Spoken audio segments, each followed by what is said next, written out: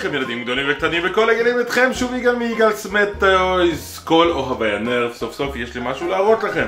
להגיד לכם שזה הכי חדש זה לא אבל זה לא קיים בארץ בכל מקרה עד כמה שאני יודע סדרת המודולוס זה אומר שאנחנו יכולים לשים המון המון תוספות על הנשק הזה. יש משהו שאני אהבתי בנשק הזה אה, ובגלל זה קניתי אותו. הוא מזכיר לי קצת ה Rampage שהיה לי, רק הרבה יותר customizable, אפשר לשים עליו כל מיני דברים ואנחנו גם נראה את זה. עכשיו זה רק הרובה והם ממליצים לנו על שתי תוספות האלה, כפי שאתם רואים יש פה קאטן אקדח ואיזשהו קנה שגם יורה. אני גם הזמנתי את הקאט הזה אז כשזה יגיע גם אני אעשה לזה סקירה כמובן, אבל כרגע אתם יכולים לראות את הנשק הזה, הוא הולך כמו שטגן עם דריכה, אבל הוא הולך עם דריכה מלמטה. כי יש רובים שהדריכה היא מלמעלה וזה פשוט לא נוח אם אתם רוצים לראות מהר, כאילו כל פעם אה, להסיס את הרובה בשביל לראות. ופה כשזה למטה זה כמו שטגן, הדבר היחיד שאולי לא הולך להפריע זה המרחק, אבל בואו נראה. בואו נוציא אותו מהאריזה, נראה מה קיבלנו פה ואיזה תוספות אנחנו הולכים לשים עליו. טוב חברים, אז uh, זה הנשק מחוץ לאריזה, זה אקדח כיפי מאוד, שיכול להפוך לכם לרובה, uh, והוא קודם כל ארגונומית מדהים. אוקיי? ידית כל כך גדולה, כל כך נוח לי, וזה אפילו משאיר לי מקום שזה משהו לא צפוי. דבר ראשון חברים, אנחנו צריכים להרכיב את החלק הזה. אוקיי, כי המחסנית פה זה קטע יפה אגב, נכנסת מהצד עם כל היתרונות והחסרונות שבעניין הזה. טוב, צריך להכניס את זה, ואחרי שמכניסים את זה, אני בספק אם אפשר להוציא את זה. יש פה הרגשה של ראצ'ט, זה לא חלק. מגניב, דורש קצת כוח, לי אין בעיה עם זה כמובן. זה תומך גם ב slam fire שזה נורא מגניב. תראו איזה פרופיל מגניב, אקדח, אוקיי, או אפשר נשק עם שתי ידיים. תראו איזה יפה הוא נראה גם מהצד הזה. אוקיי, בגלל שזה מודולוס אז יש לו tactical rail למעלה אופציה לחבר קת, קנה ומשהו מהצד. זאת אומרת, בגלל שהוא כזה קטן, אין לו מקום פה למשל לחבר משהו וזה, אבל כל מה שאנחנו נצטרך נוכל לחבר אליו בלי שום בעיה. דבר ראשון, לפני שאני מתקין עליו כל מיני תוספות שלי, ונראה איך הכי טוב להציג אותו, בואו נעשה בדיקת ירי. מן הסתם קיבלנו עם זה שישה כדורים, כי מקבלים איזה מחסנית של שישה, אתם יכולים לעשות מחסנית יותר גדולה. אני חושב שזה אחד הנשקים שבגלל שהמחסנית נכנסת מהצד, יהיה מאוד נחמד אם זה כנראה יהיה טוב. כי מחסנית אה, גדולה היא גם ארוכה בהתאם, וסתם יכול להיות פחות נוח שזה הצידה ולא למטה. קיבלנו פה כדורים קצת רכים מדי אם אתם שואלים אותי. גם לכדורים האלה יש כל מיני אה, קודים. למשל זה E, אוקיי? יש כל מיני, יש A, יש... וזה קצת אה, משפיע על הקושי שלהם. הנה יש לנו מחסנית מלאה. בטח בשביל להכניס את המחסנית צריך לדרוך אחורה קודם. מכניסים מהצד.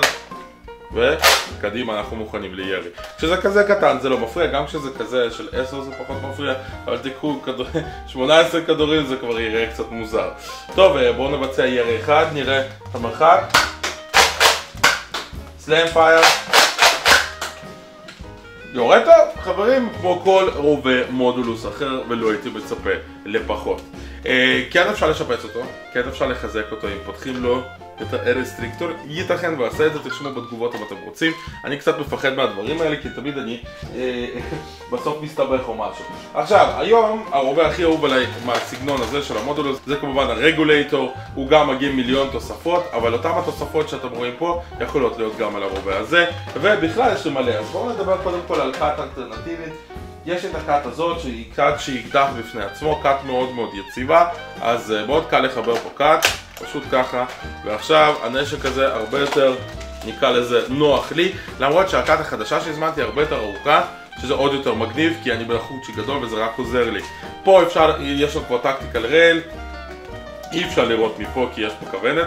עכשיו הכוונת פה אגב, זה קטע מצחיק, כי לא באותו גובה עם הכוונת. זאת אומרת, כשאתם מכוונים זה תמיד עושה לכם טיפה יותר למעלה, שזה לא כזה רע הבנתי, אה, ראיתי גם סקירות של אחרים בחו"ל. כי אה, הרובים האלה לא כאלה מדויקים והם די נופלים די מהר חצים אז אה, כשאתה מעלה את זה טיפונת בזווית זה רק, רק עוזר לכם ומבחינת הפרונט ברל, מה אנחנו נשים לו? יש לי כמה אופציות עכשיו אה, בואו נראה מה נראה עליו הכי יפה יש את זה אוקיי, קצר כזה יש כל מיני גם קטנים נגיד יש כזה פחות מתאים, אני לא אוהב את זה. אני אוהב שיש קאט שזה ארוך יותר, אז uh, יש את הדבר הזה, שזה הופך את זה לסוג של כאילו צלפים. Hmm, כבר uh, נראה יותר טוב, ויש גם את הקאט אה, שיורה, אוקיי? יש את הדבר הזה, אוקיי? שזה אקדח של ארבע, ובואו נראה אם זה לא יפריע לנו הידית הכפולה. טוב, זה קצת יכול... אה, אתם יכולים להתבלבל בטעות, אבל מצד שני זה גם לא כזה רע. מזכיר כאילו שיש לכם איזשהו אה, שוטגן נוסף פה. אה, לא נורא, לא נורא, אפשר להשתמש בזה בצורה כזאת. עכשיו יש לו טקטיקל ריילס, אז אה, אפשר לקחת... נגיד אם אנחנו כבר בקטע של רובי צלפים, אני יכול לקחת את החלק הזה, כמו שאני כל כך אוהב, ולחבר פה. וואלה. אה, הכת הזאת היא פחות מתאימה לזה את האמת. מפריע לי. אה, טוב, בואו ניפטר רגע ממנה. עכשיו זה נשק הרבה יותר טקטי, ומצד אחד יש לי גם את הכוונת. מעולה חברים, תקשיבו, הדבר הזה מאוד מאוד גמיש, הוא כיפי. עכשיו, מה הקטע של רובה כזה? אתם יכולים לשאול, יגאל, יש לך את הרובה הזה, שזה באמת אחד הרובים היותר טובים שיש, הוא אוטומטי, אתם שומעים, והכל, אז מה אני צריך את הנשק הזה? אני אסביר לכם חבר'ה.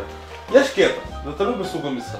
קודם כל המשחק שלכם בשטח פתוח, הרובים האוטומטיים הם סוג של יתרון, אוקיי? על הרובים הידניים, אבל כשאתם צריכים שקט חברים, זאת בעיה. כשאתם צריכים שקט, כל משהו שהוא ממונע, שומעים אותו, שומעים אתכם ממרחק של עשרות מטרים. לעומת זאת, רובה שהוא בסגנון כזה, הוא דרוך, וכל מה שאתם צריכים בשביל לראות זה לסחוט את ההדק, ואתם יכולים להפתיע מישהו ולירות עליו, זה הכל.